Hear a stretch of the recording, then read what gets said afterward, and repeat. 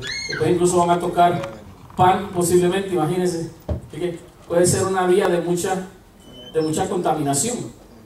Ahora, la limpieza, y es interesante, que es provista a través del agua en el santuario, es presentada en la Biblia con el tema de la santidad.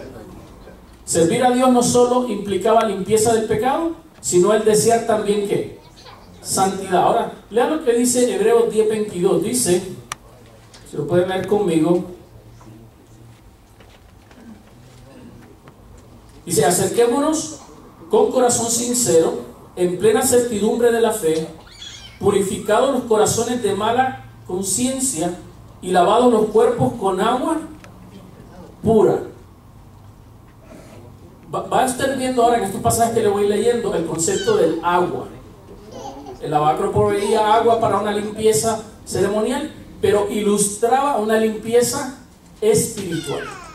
Así que note, aquí se está hablando de tener un corazón sincero, de servir a Dios, no servir a Dios con una mala conciencia, siendo lavados con los, nuestros cuerpos con qué? Con agua pura. Primera de Juan 1.7 dice, pero si andamos en luz como Él está en luz, tenemos comunión unos con otros y la sangre de su Hijo nos limpia.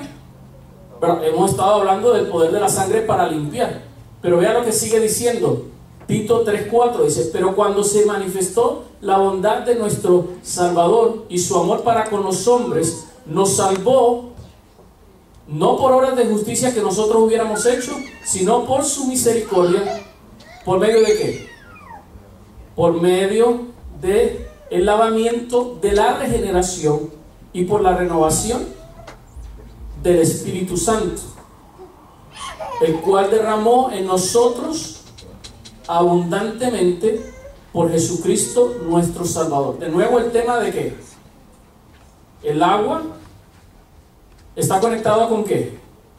Con la santificación, con la purificación y el agua ahora la están asociando con qué personaje? con, el, con Jesucristo y con el Espíritu, con el Espíritu Santo. Ahora vea, ¿necesitamos nosotros al Espíritu Santo en nuestra vida? ¿Qué usted cree? Se nos invita a orar, pero usted sabe que si el Espíritu no intercede en nuestras oraciones, nuestras oraciones no son efectivas. Porque dice, dice Romano, dice, y de igual manera el Espíritu nos ayuda en nuestra debilidad, pues ¿qué hemos de pedir como conviene? No lo sabemos, pero el Espíritu mismo intercede por nosotros con gemidos indecibles. O sea, aún nuestras oraciones, el Espíritu Santo las traduce para que puedan ser entendidas adecuadamente por la divinidad. O sea, ¿qué realmente es lo que estamos pidiendo? Porque a veces nosotros pedimos cosas y nosotros no hemos terminado de entender qué es el meollo del asunto, de lo que estamos pidiendo. El Espíritu Santo es el que hace eso.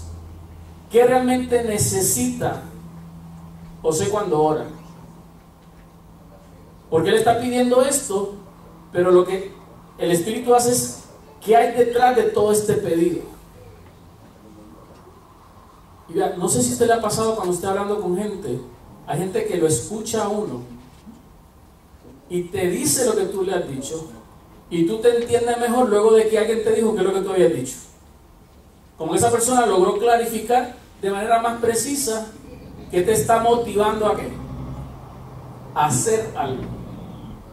Porque a veces nosotros pedimos cosas y todavía no hemos terminado de entender por qué lo estamos qué. ¿Por qué estamos pidiendo las cosas? El Espíritu es aquel intérprete de nuestras oraciones. Y qué bueno que lo hace. Porque a veces nosotros solo pedimos lo que queremos, pero el Espíritu le recuerda a Dios lo que necesitamos. Le pasa como a los niños, ¿verdad?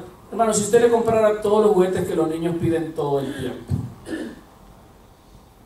¿qué tiene que hacer el padre con el paso del tiempo? En medio de todos esos pedidos, descubrir realmente qué es lo que quieren, qué es lo que realmente sí quieren y qué pedido se mantiene de forma más que consistente, porque si no sería un regalo una semana, otro regalo el otro, otro regalo el otro, pero tenemos que notar detrás de ellos qué realmente quieren y qué realmente les puede servir. Y esta es la labor que el Espíritu Santo hace en nuestra vida. Así que, vea, ni orar lo podemos hacer sin qué. Sin la ayuda del Espíritu Santo. Necesitamos el Espíritu Santo incluso para orar. Tampoco puede, puede haber iglesia. No hay iglesia sin el Espíritu Santo. Es más, no hay misión de la iglesia sin ahora de qué? Del Espíritu Santo. Dice, y les dijo, no os toca a vosotros saber los tiempos y las acciones. Hechos 1.7, que el Padre puso en su sola potestad, pero recibiréis poder cuando haya venido sobre vosotros el Espíritu Santo y entonces me seréis qué? Testigos en Jerusalén, en Judea, en Samaria y hasta lo último de la tierra. Si el Espíritu no está en medio de nosotros, la iglesia es un club social, literalmente. Y decirle, y no muy bueno, porque hay clubes sociales que corren mejor. Lo que hace de la iglesia algo diferente no es simplemente que tenemos un montón de personas unidas con algunos planes similares, sino porque tenemos la presencia de qué? Del Espíritu Santo en nuestro medio. Es más, la iglesia como organización no tiene nada que pegue caracteres y personalidades tan diferentes como lo hace la iglesia. Se logra una unidad en medio de tanta diversidad por la presencia de qué? Del Espíritu Santo. Si no, este tipo de grupo que nosotros tenemos aquí no se da afuera. Afuera se dan grupos especiales. Los profesionales a un lado, los que hacen esto al otro, las amas de casa aquí. Pero nadie crea necesariamente grupos así. Por eso la iglesia existe. Y pues este grupo puede funcionar con la ayuda de qué? Del Espíritu Santo. Si el Espíritu no, está en medio de nosotros, nos convertimos en un club social o en un grupo muy lleno de disensión. Porque así era el grupo de los discípulos, ¿verdad? Mientras no tuvieron el Espíritu Santo, cada quien estaba buscando en hacer qué? Su voluntad y quién iba a ser el, el primero hasta que vino el Espíritu Santo y empezaron a trabajar no solo juntos, sino unánimes. Y la iglesia no pudo crecer en la misión sin la presencia del Espíritu Santo. Así que la iglesia no puede ser iglesia sin la ayuda del Espíritu Santo. La iglesia no puede cumplir la misión sin la ayuda tampoco del Espíritu Santo. Es más, la escritura misma no la pudiéramos tener sin ayuda de quién. Toda la escritura es inspirada por Dios. Y dice Pedro más adelante, tenemos también la palabra profética más segura, a la cual hacemos bien a estar atentos como una antorcha que alumbra el lugar oscuro hasta que el día esclarezca y el lucero de la mañana salga en vuestros corazones, entendiendo primero que que ninguna profecía de escritura es de interpretación privada, porque nunca la profecía fue traída por voluntad de quién? Humana, sino que los santos hombres de Dios hablaron siendo inspirados por quién? Así que no podemos orar, no podemos ser iglesia, no podemos hacer misión, no tendríamos la Biblia sin ayuda de quién? Del Espíritu Santo. El Espíritu Santo es esencial en la experiencia cristiana. Así que no solo era importante que, que, se hiciera el sacrificio, ellos tenían que estar limpios para poder después ministrar a quién. Necesitaban ministrarle a Dios. Es más, dice, esto es en el libro Consejos sobre la Escuela Sabática, página 41, dice, nunca debe estudiarse la Biblia sin oración. Solo el Espíritu Santo puede hacernos sentir la importancia de aquellas cosas fáciles de comprender o prevenirnos de torcer verdades difíciles de comprender. No solo el Espíritu Santo ayudó a la formación de la Biblia, necesitamos el Espíritu Santo para entender las escrituras. Dice que Jesús le apareció a los discípulos y les sopló el Espíritu Santo para que pudiesen entender las escrituras. Solo sigo demostrando que sin el Espíritu no podemos hacer nada. No podemos orar, no podemos leer la Biblia, no podemos vivir la vida cristiana sin la presencia del Espíritu Santo. Jesús entonces lo, introduce y vea, recientemente ha habido entre los adventistas un movimiento de no reconocer al Espíritu Santo como una persona de la deidad. Vea lo que dice San Juan, capítulo 14. Es más, ¿usted quiere volver a repasar eso? Lea San Juan, capítulo 14 completo. Porque ese es el capítulo donde Jesús introduce a la persona del Espíritu Santo. Dice, si me amáis, guardad mis mandamientos. Y yo rogaré al Padre y os dará otro consolador. El Espíritu Santo no es el consolador, es otro consolador. ¿Quién era uno de ellos? Jesús. Y ahora Jesús está diciendo, ahora le va a enviar a otro qué? A otro consolador. Para que esté con vosotros para siempre. ¿Y quién es ese otro consolador?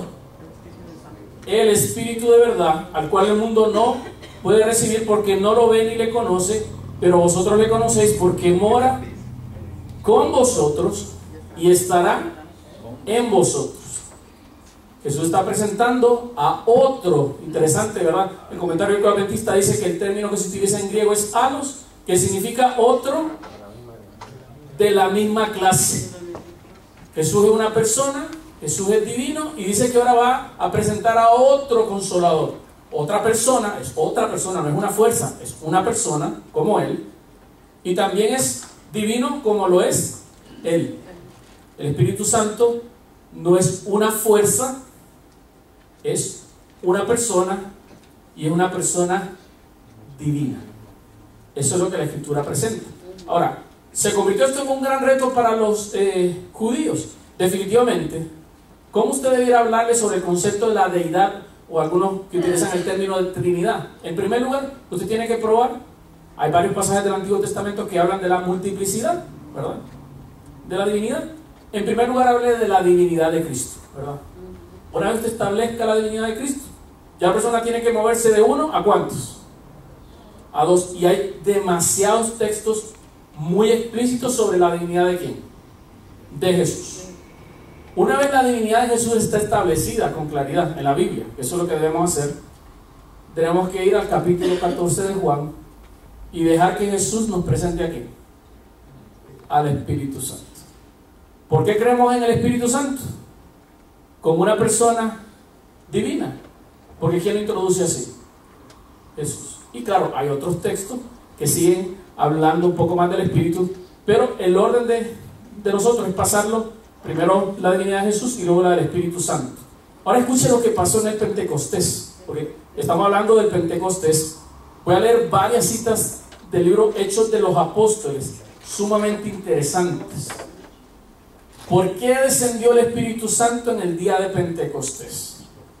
¿Se debió solo porque la iglesia estaba aquí abajo orando? Y Dios simplemente respondió a lo que la humanidad estaba haciendo? ¿O el Pentecostés fue dado en respuesta a la obra de Cristo? Vea, porque a veces nosotros pensamos que todo es por lo que yo hago y se nos olvida que es por lo que Cristo ha hecho y lo que Cristo hace. Entonces vea lo que dice. Durante la era patriarcal, patriarcal, la influencia del Espíritu Santo se había revelado a menudo en forma señalada, pero nunca en su plenitud. Ahora en obediencia a la palabra del Salvador, los discípulos ofrecieron sus súplicas por este don y en el cielo, eh, los discípulos suplicaron abajo, pero en el cielo Cristo añadió su qué? Intercesión. Déjeme decirle, eso hace una gran diferencia, la intercesión de Cristo. Reclamó el don del Espíritu para poderlo derramar sobre su pueblo. Y como se cumplieron los días de Pentecostés, estaban todos unánimes juntos y de repente vino un estruendo del cielo como un viento recio que corría el cual hinchó a toda la casa donde estaban sentados. La ascensión de Cristo al cielo fue la señal de que sus seguidores iban a recibir la bendición prometida. Jesús haciendo. Habían de esperarla antes de empezar hacer su obra. Ahora, eh, sigue escuchando, dice. Cuando, cuando Cristo entró en los portales, por los portales celestiales, fue entronizado en medio de la adoración de los ángeles. Tan pronto como esta ceremonia hubo terminado, así que hubo una ceremonia donde? en el cielo, entronizando a quién? Entronizando a Cristo. El Espíritu Santo, cuando se acabó la ceremonia, el Espíritu Santo descendió sobre los discípulos en abundantes raudales y Cristo fue de veras glorificado con la misma gloria que había tenido con el Padre desde toda la eternidad. Así que el Espíritu Santo es recibido por algo que ocurrió en el cielo relacionado con quién? Con Cristo. Cristo fue que entronizado. Sigue ya diciendo, el derramamiento pentecostal era la comunicación del cielo de que el Redentor había iniciado su ministerio celestial. Note, todo tiene que ver con Cristo. ¿La Pascua con qué tiene que ver? Con Cristo. La primicia, la resurrección, ¿tiene que ver con quién? Con Cristo. El derramamiento del Espíritu Santo, ¿con quién tiene que ver? Con Cristo. Tiene, todas estas cosas que Cristo hace tienen un efecto sobre nosotros, ¿verdad? La Pascua nos da redención a nosotros. La primicia nos garantiza que si Él resucitó, yo voy a resucitar. Y el derramamiento del Espíritu Santo es algo que Dios nos va a dar a la iglesia, pero no es simplemente porque me lo está dando a mí, es algo que primero Cristo que recibe por su ministerio en el cielo. Así que la garantía de toda la salvación, en primer lugar, la tenemos por Cristo. Esa es la garantía de nuestra salvación. Dice, de acuerdo con su promesa, había enviado el Espíritu Santo del cielo a sus seguidores como prueba de que como sacerdote y rey, porque dice que fue entronizado, hizo dos cosas, establecido como sacerdote y rey, había recibido toda autoridad en el cielo y en la tierra y era el ungido sobre su pueblo. Hechos de los Apóstoles, páginas 31 y 32. Así que el Pentecostés tiene que ver con qué? Con la inauguración del ministerio de Cristo en el cielo. Un ministerio de intercesión. ¿Qué significa esto para nosotros los creyentes? La promesa del Espíritu Santo no se limita a ninguna edad ni raza. Cristo declaró que la influencia divina de su Espíritu estaría con sus seguidores hasta cuándo? Hasta el fin. Desde el día de Pentecostés hasta ahora, el Consolador ha sido enviado a todos los que han, a todos los que se han entregado plenamente al Señor y a su servicio, a todo el que ha aceptado a Cristo como su Salvador personal. El Espíritu Santo ha venido como consejero, santificador, guía y testigo. Tú te has entregado a Cristo y lo has aceptado como tu Salvador personal. El Espíritu Santo ha sido dado en tu vida como qué? Como consejero, santificador, guía y testigo. Claro, el Pentecostés entonces tiene que ver también con qué? Con la santificación. Aquellos que en Pentecostés fueron dotados con el poder de lo alto no quedaron desde entonces, sin embargo, escuche, Ah, ya recibimos el Espíritu Santo. Ya no pecamos. Vea lo que dice aquí. Aquellos que en Pentecostés fueron dotados con el poder de lo alto, no quedaron desde entonces libres de qué? De tentación y prueba. Como testigos de la verdad y la justicia, eran repetidas veces asaltados por el enemigo de toda verdad, que trataba de despojarlos de su experiencia cristiana. Vea, ya recibimos el Espíritu, pero todavía seguimos luchando en qué? en este mundo a través de tentaciones y, y pruebas. Estaban obligados a luchar con todas sus facultades dadas por Dios para alcanzar la medida de la estatura de hombres y mujeres en Cristo. Aunque hemos recibido el Espíritu Santo, estamos en medio de una lucha espiritual, en medio todavía de tentaciones y pruebas. Porque gente dice, no, ya recibí el Espíritu, ya nada me puede pasar, adventistas alguna la historia desarrollaron este concepto de la carne santificada. Si ya recibimos el Espíritu, ya no puedo qué? Ya no puedo pecar. No, el cristiano con el Espíritu está teniendo qué? Lucha y prueba y se tiene que qué? Que forzar. Porque si no se fuerza, aún teniendo el Espíritu Santo, ¿qué va a pasar? El enemigo va a qué? Porque va a seguir aunque tiene el Espíritu, experimentando tentaciones y pruebas. Así que hermano, tenemos el Espíritu Santo, pero no significa que estamos libres. Todavía vivimos en qué? En este mundo. En este mundo. Así que sigue diciendo, oraban diariamente en procura de nuevas provisiones de gracia para poder elevarse más y más hacia la perfección, porque no la habían alcanzado, no eran perfectos. Bajo la obra del Espíritu Santo, aún los más débiles, ejerciendo fe en Dios, aprendían a desarrollar las facultades que les habían sido confiadas y llegaron, no es que fue inmediatamente, sino que llegaron, pero aquí vemos que hay una que, hay un crecimiento, llegaron a ser santificados refinados y ennoblecidos. ¿Cómo lo lograron?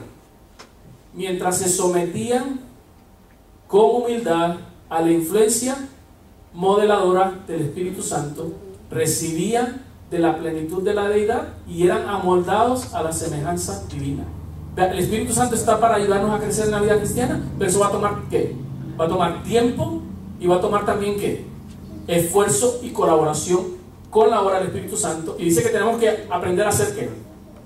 A ser humildes. Porque para que el Espíritu Santo nos vaya cambiando, tenemos que reconocer que estamos qué? Que estamos mal y que necesitamos seguir qué? Creciendo. ¿Se recuerda lo que decía en la otra cita? Dice que el, diablo mostraba qué? Sus defectos de carácter y su falta de semejanza de Cristo. Es cierto, así estamos. Pero el Espíritu Santo nos está tratando de decir eso y tenemos que qué? Tenemos que reconocerlo. Y ahí vea, conocer la verdad, la doctrina bíblica no nos salva, no es conocer la doctrina bíblica, es imitar el carácter de quién? De Cristo. Y para ir cambiando de esa manera necesitamos en primer lugar ser humildes. El Espíritu provee la fuerza que sostiene en toda emergencia. Y esta, esta parte me gustó. Dice, el Espíritu provee, nos da esperanza. El Espíritu provee la fuerza que sostiene en toda emergencia a las almas que luchan y batallan en medio del odio del mundo y de la comprensión de sus propios fracasos y errores. Porque eso es lo que vamos a tener. Pero el Espíritu Santo va a hacer qué? Nos va a proveer fuerza en medio de nuestros fracasos y errores, en medio de esta lucha que tenemos contra el mundo y al vernos que somos qué? Imperfectos. Porque tenemos fracasos y cometemos también qué? Cometemos errores. Dice, en la tristeza y la aflicción, cuando la perspectiva parece oscura y el, y el futuro perturbador, y nos sentimos desamparados y solos, estas son las veces cuando en respuesta a la oración de fe, el Espíritu Santo proporciona consuelo al corazón. El Espíritu Santo está para darnos qué? Para darnos esperanza. No es una evidencia concluyente de que un hombre sea cristiano el que manifieste éxtasis espiritual en circunstancias extraordinarias. Eso no es ser espiritual. Que cada cierto tiempo hay en, programas especiales, ay, qué bonito. No, dice, no es eso. La santidad, dice, no es arrobamiento es una entrega completa de la voluntad a Dios. Es vivir de toda palabra que sale de la boca de Dios. Es hacer la voluntad de nuestro Padre Celestial. Es confiar en Dios en las pruebas y en la oscuridad, tanto como en la, en la luz. Es caminar por fe y no por vista. Confiar en Dios sin vacilación y descansar en su amor.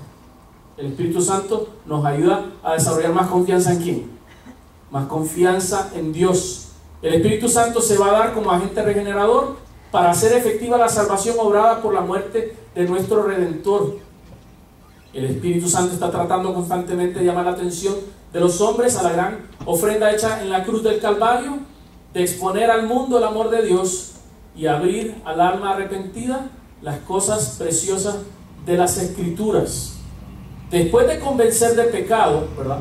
Es una de las cosas que hace el Espíritu Santo, convencer de pecado y de presentar ante la mente la norma de justicia, vea las otras cosas que el Espíritu Santo hace. El Espíritu Santo quita los afectos de las cosas de esta tierra y llena el alma con un deseo de santidad.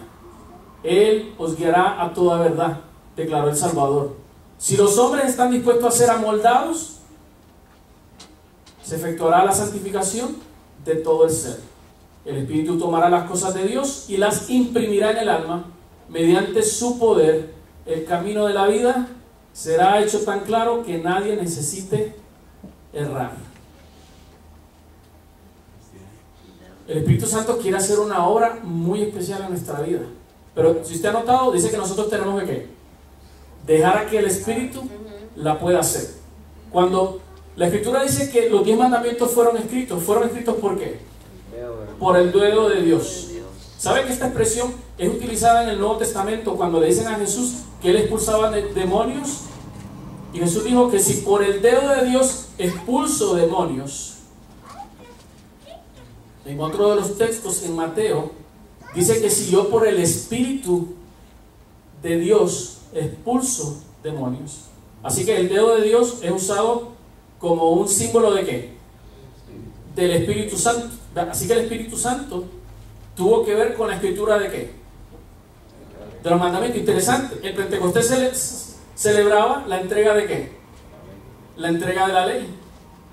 ¿Quién escribió esta ley? El dedo de Dios. ¿Quién tuvo que ver también ahí? El Espíritu Santo.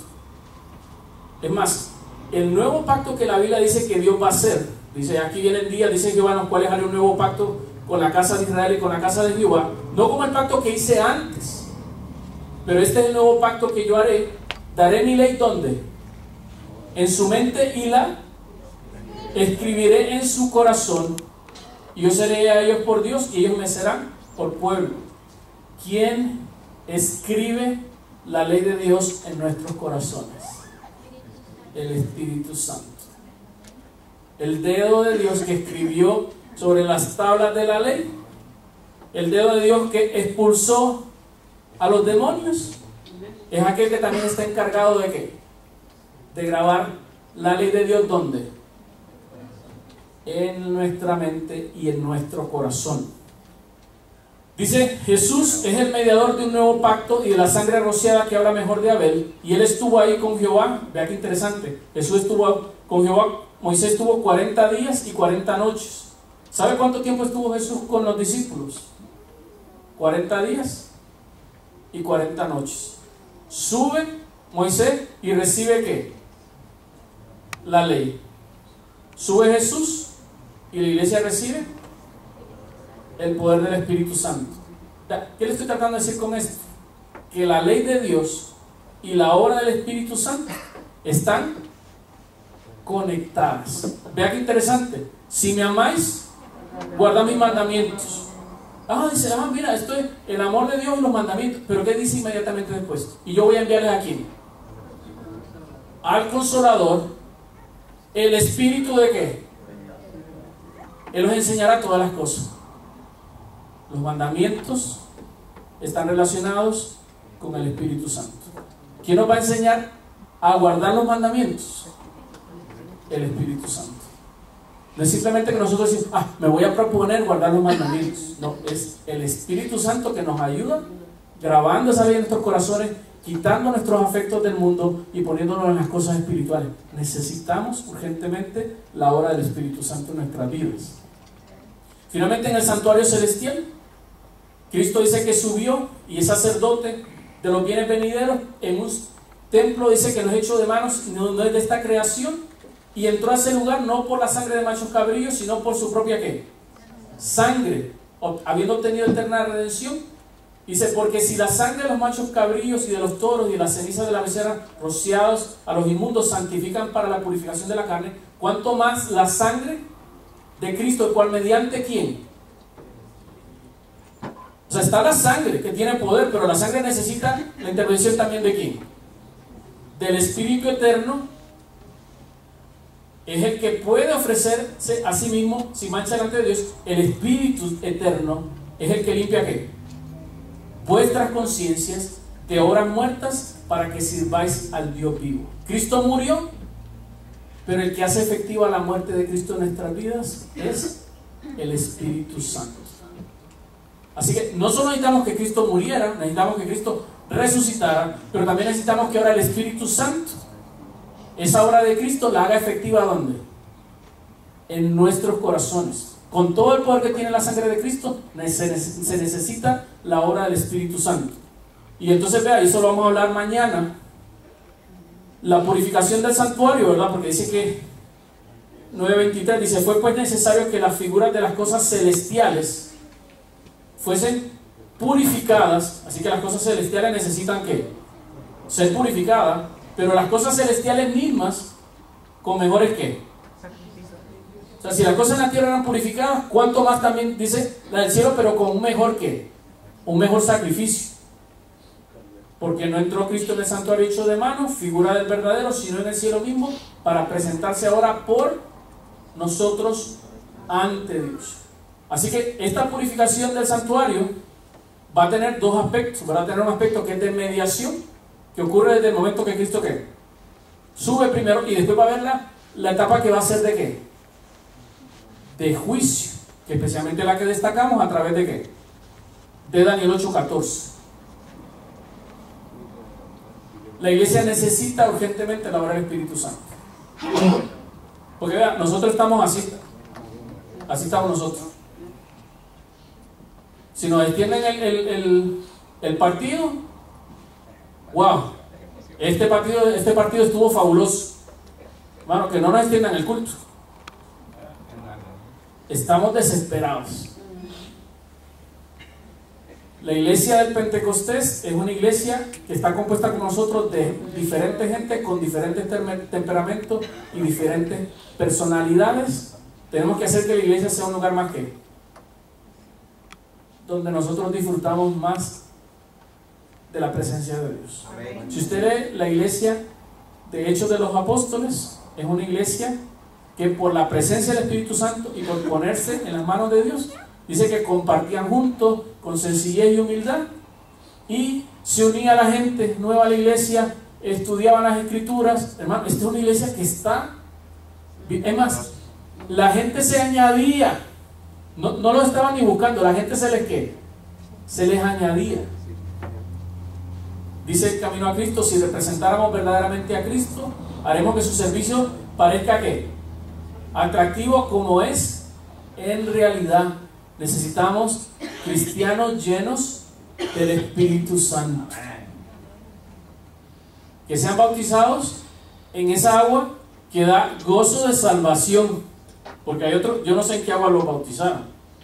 Pareciera que fue jugo de limón. No, salen así como que con la cara como que no, no, está funcionando. Hermano, debemos empezar a vivir una experiencia cristiana que sea más que, que sea más agradable, que sea más gozosa.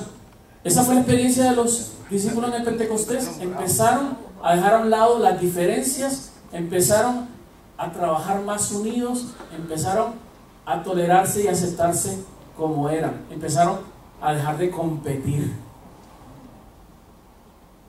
Estudiaban, dice, juntos la doctrina de los apóstoles. Eso era lo que disfrutaban. Hacían cosas juntos. Así que tenían tiempo también para qué? Para compartir entre ellos. Oraban juntos. Claro, aquí no sé si es el barbecue, ¿verdad? Pero ellos decían que comían con humildad y sencillez. Así que si hacían actividades de qué? actividades sociales juntos, porque eso también une a la iglesia. No solo en el momento de la oración, no solo en el momento de la lectura de la Biblia, también es cuando compartimos como comunidad. Se dedicaron a la oración y ruego y estaban completamente dedicados. ¿Y sabe qué empezó a pasar con ellos? Por la obra del Espíritu Santo, ¿qué empezó a pasar? ¿Una qué? Una transformación. y reconocían que estos hombres sin letras y del vulgo habían estado con Jesús. Eso es lo que la gente debe reconocer, que estamos con Jesús. Y eso cambia nuestra vida. Así que esta es una iglesia, es una comunidad que espera al Espíritu Santo y que y recibe al Espíritu Santo, pero lo está esperando, lo está anhelando. Dice Elena debiéramos hablar más de él, debiéramos pedir más de él. Hacemos muchas cosas sin considerar que necesitamos al Espíritu Santo para hacerlas. Es una comunidad también que se humilla y ruega. que aprendió a no estar peleando. Nosotros peleamos por tantas boberías en la iglesia. Hay iglesias que están peleadas por una alfombra, por una bombilla, por una pintura. Bueno, tantas cosas importantes en la vida. Y nosotros estamos peleando por una clase de bobería. tenemos que madurar, pero a veces estamos también en una lucha de poder y tenemos, a veces tenemos más caciques que indios. Todo el mundo quiere ser cacique. Claro, cuando algo sale mal, nadie quiere ser cacique. Ahí todos quieren ser indios y al, cacique que le echaron la culpa, a ese lo quieren quemar. Somos un ejército que a los soldados heridos, ¿qué les hacemos? Los ejecutamos. Este es el único ejército que hace eso. Si alguien y ustedes ha errado, dice Pablo, ustedes que son espirituales que deben hacerlo. Restaurarlo. Nos, en el adventismo nos cuesta restaurar a la gente. Ya cuando se cayó, hacemos leña rápido del árbol caído. Nos falta, ¿sabe qué? Los discípulos pasaron, miren, no nos quisieron recibir, oramos para que le caiga fuego. Esa fue la respuesta de ellos. Andaban con Jesús y esa es su respuesta. No nos aceptaron, que le caiga fuego. ¿Y sabe qué le dijo Jesús? Ese no es mi espíritu. Aún al que lo rechaza, Jesús no va rápidamente a qué? A justiciar. Ese no es el espíritu de Cristo. El espíritu de Cristo es qué? Es levantar al caído. Porque vea, el que se cayó necesita que qué? Que se le ayude a levantar. Pero ¿y qué si vuelve a hacerlo? Pues hermano, si se dio duro, le aseguro que lo va a pensar que lo va a pensar de no, mi tarea es que y hay gente como que se cayó, pero mira, no te caíste, pero y le empieza a decir, pero la piedra que si se cayó, ¿qué hay que hacer con el muchacho? Levántelo, ayúdalo con la herida. ¿Usted cree que el dolor no le está haciendo sentir ya que cometió un error? Nosotros vamos a estar no solo para señalar el error, debemos estar para mostrar el amor. Nos falta mucho, nos falta mucho tener el Espíritu de Cristo. Así que hay que salvar a los heridos, ¿verdad? Eh, no podemos correr a un hospital matando a los enfermos, ¿verdad que no? Ni correr a un ejército eh, fusilando al soldado herido. No podemos hacerlo. Porque si no el enemigo dice, no, déjalo solito, ellos se matan. No, nosotros debemos rescatar al caído, levantar eso, curar al herido. Tenemos que tener el Espíritu de Cristo. ¿Y sabe por qué? Porque en algún momento lo vamos a necesitar nosotros. O en algún momento lo van a necesitar algunos de nuestros hijos, pero esos somos los justicieros de los hijos de otros. Pero cuando vienen los nuestros, somos jueces de otros, pero somos abogados de los nuestros. Aún con los niños en la iglesia, hermano. Estos niños que piensen que son sus nietos, porque a sus nietos, hermano, se le paran encima en la cabeza a usted. A sus hijos usted no le hacía nada. Esto lo quiere comer, si no te lo comes, te lo doy mañana. Y a los nietos, ¿y cómo quiere el sandwichito? ¿Lo quiere en cuadrito o en círculo o en triángulo? Pero lo haces con tus nietos. Porque los demás nietos, los demás muchachitos, esos son unos niños inquietos, malcriados, que no le enseñan nada. Debemos aprender a ver a todos los niños como si fueran nuestros nietos o si fueran nuestros hijos. Necesitamos más el Espíritu de Cristo. Y para tener el Espíritu de Cristo necesitamos la obra de quién? Del Espíritu Santo. Por nosotros mismos no lo vamos a lograr. El Espíritu de Santo es que nos va a ayudar. Finalmente es una iglesia que también se une y que comparte. Hay que hacerlo. Yo lo felicito. Yo sé que ustedes tratan de hacerlo. Estas cosas no hay que dejar de hacerlas. Tenemos que aprender a unirnos y compartir. Hermano, y vean, qué bueno que las iglesias nosotras latinas son multiculturales. Necesitamos aprender a vivir con gente que come diferente, que habla diferente, que piensa diferente, porque esto es un pequeño laboratorio del cielo. Vamos a ir al cielo desde toda nación, tribu, lengua. Y, decirle, y entre los latinos sentimos que hay mucha diferencia. Imagínense cuando se nos junte la gente. Porque me decirle, el resto del mundo es más raro todavía. Y en el cielo nos va a tocar qué? Así que hermano, esto es un laboratorio para aprender tolerancia. Y pasemos de la etapa de tolerancia y aprendamos a disfrutar otras cosas. Qué bendición. Tiene aquí, puede comer pupusas, puede comer arepas, puede comer baleadas. Si le ofrecen baleadas, si es, de, Honduras, usted la puede aceptar una baleada sin problema, ¿verdad? Porque es una comida de, Honduras que se llama baleada, es el único lugar donde tú puedes aceptar baleada sin peligro. Si alguien te ofrece una baleada, si es hondureño dice, sí, dame una baleada, te la da, no te va a pasar nada. Disfrute las diferencias que Dios ha permitido que existan entre ustedes. No las utilice como oportunidad para burlarnos, para compararnos, para hacernos sentir mejor o hacer sentir peor a otra persona de otro lugar. Este es un laboratorio que Dios nos está dando de la experiencia del cielo, donde vamos a ir de toda nación, tribu, lengua y pueblo. Y para que se le haga difícil, creo que lo va a meter Dios en, un, en un barrio bien diferente.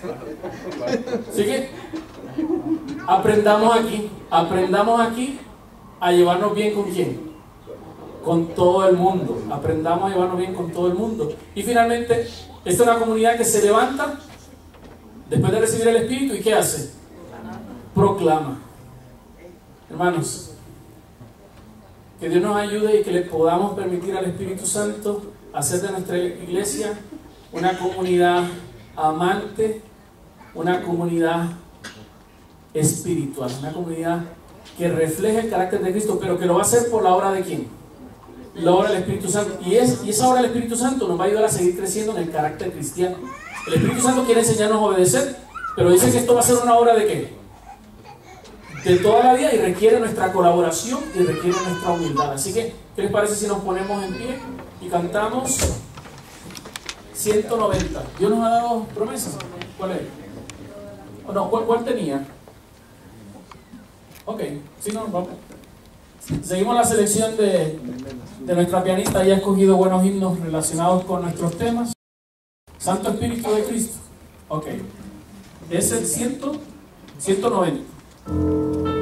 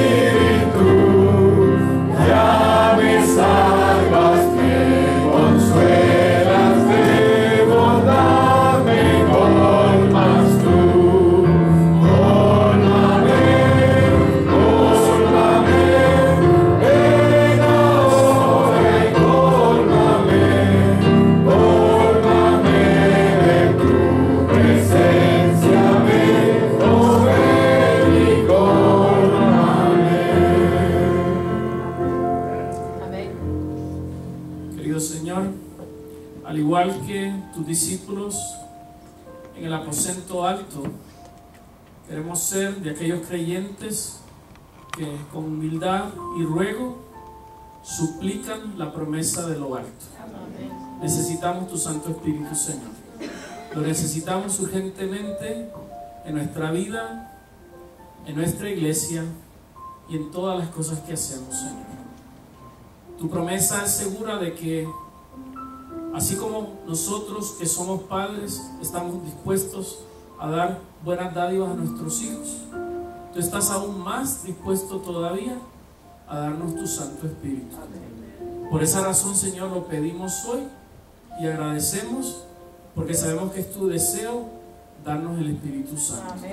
Así pues, Señor, que Él siga obrando en nuestra vida y nos ayude a crecer en la semejanza de Cristo. Pues lo pedimos en su nombre. Amén.